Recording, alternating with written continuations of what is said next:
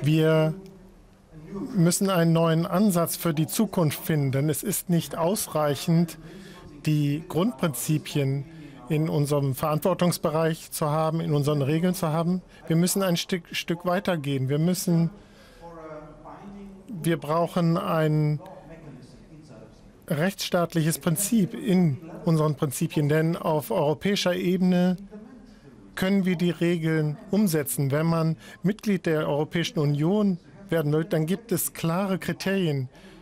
Da geht es um die Rechtsstaatlichkeit, um unsere Prinzipien.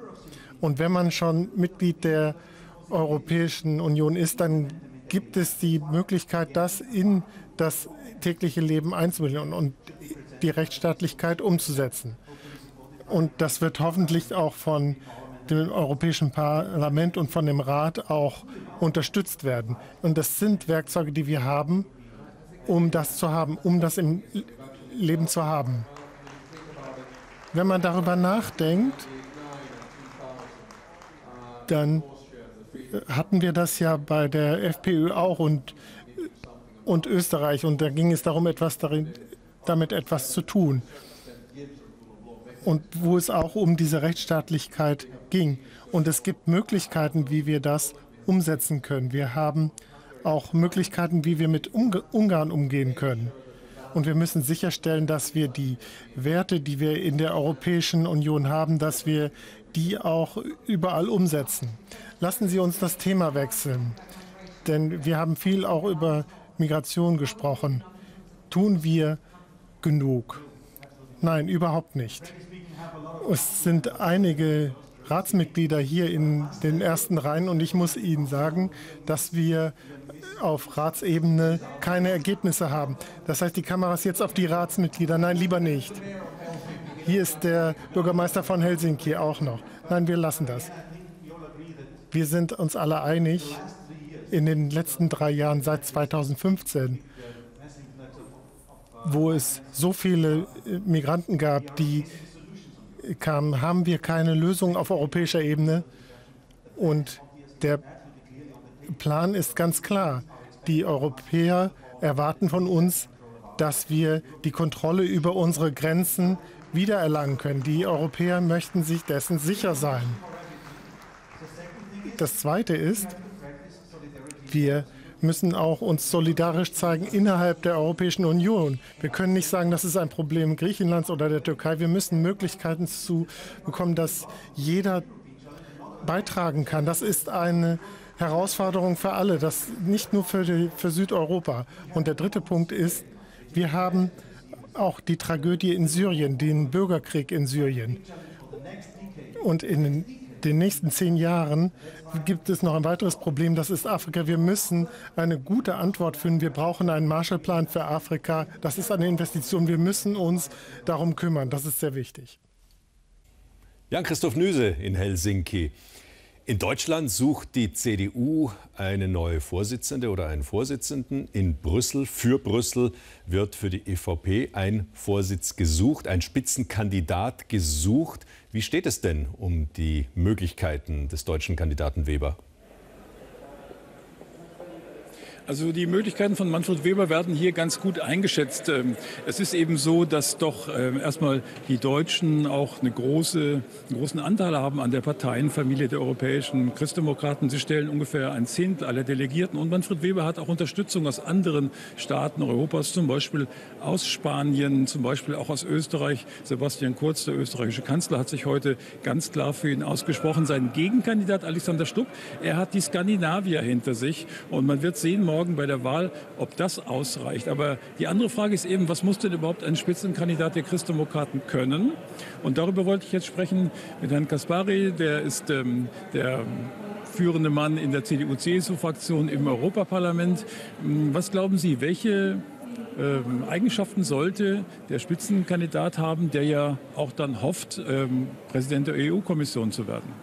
Ja, wir brauchen aus meiner Sicht für die Europawahlen einen Spitzenkandidaten, der bürgernah ist, der äh, verwurzelt ist mit seiner Heimatregion, der zum zweiten Europa kennt, die Eigenarten in den 28 Mitgliedstaaten und wir erleben jeden Tag, wie unterschiedlich wir sind, wie groß die kulturellen Unterschiede sind Und wir brauchen dringend einen Brückenbauer. Wir erleben, dass unsere Gesellschaften in vielen europäischen Mitgliedstaaten immer mehr auseinanderdriften. Äh, wir erleben die Verunsicherung bei vielen Bürgerinnen und Bürgern. Und genau da gilt es, die Brücken zu bauen zwischen den europäischen Mitgliedstaaten, aber vor allem auch zwischen dem Bürger zu Hause und der Politik in Brüssel, die für viele, viele zu weit weg zu sein ja. scheint. Wir sind jetzt hier in Helsinki. Wir sehen die Porträts der beiden Kandidaten auch. Ist natürlich klar, dass Alexander Stubb, der ehemalige Premierminister Finnlands, der auch viele andere Kabinettsposten hatte, Unterstützung hat hier. Er hat ja auch Regierungserfahrung. Manfred Weber war noch nie Mitglied einer Regierung. Ist das ein Nachteil? Ähm, ja, das ist ein Argument, das sehr oft genannt wurde. Ähm, ich denke, Manfred Weber ist stellvertretender CSU-Vorsitzender. Wenn er im Landtag geblieben wäre, dann wäre er heute bestimmt Minister oder mehr und hätte viel Regierungserfahrung sammeln können. Aber darum geht es doch gar nicht, sondern es geht darum, Manfred Weber ist Vorsitzender der größten Fraktion im Europäischen Parlament. Er macht das sehr gut. Er hat breiten, breiten Rückhalt bei uns in der Fraktion. Er kennt die Eigenarten in den 28 Mitgliedstaaten. Und ich glaube, das ist viel, viel wichtiger eben äh, die Bodenständigkeit auf der einen Seite, die Kenntnis der Eigenarten in den europäischen Ländern auf der anderen Seite. Und da traue ich Manfred Weber auf jeden Fall zu, die Europäische Kommission zu leiten. Und wir brauchen da aus meiner Sicht eben auch dringend wieder äh, mehr Bürgernähe und mehr normalen Menschenverstand und nicht unbedingt die Erfahrung, ob jemand mal in einem der 28 Mitgliedstaaten Regierungserfahrung hatte oder nicht. Ja. Jetzt musste der Spitzenkandidat nicht nur äh, sich bereithalten, eventuell Präsident der EU-Kommission zu werden, obwohl das noch längst nicht äh, festgeschrieben ist, aber er muss ja auch die europäische Kampagne der Christdemokraten anführen. Was sind denn die wesentlichen Punkte, die da wichtig sind aus Ihrer Sicht, um äh, wie in, beim letzten Wahl auch ähm, die stärkste Fraktion im EU-Parlament zu werden? Ja, wir ähm, stehen vor vielen Herausforderungen. Ich denke, das erste ist, wir müssen dringend wieder die Brücke schlagen zu den Bürgerinnen und Bürgern. Wir haben das Problem, dass zu viele Menschen den Eindruck haben, Europa ist zu weit weg und wir kriegen gar nicht mit, was vor Ort los ist. Und Aber wie macht man das denn? Ich meine, die Forderung wird ja schon öfter gestellt. Auch Jean-Claude Juncker hat ja gesagt, ich mache weniger Verordnungen.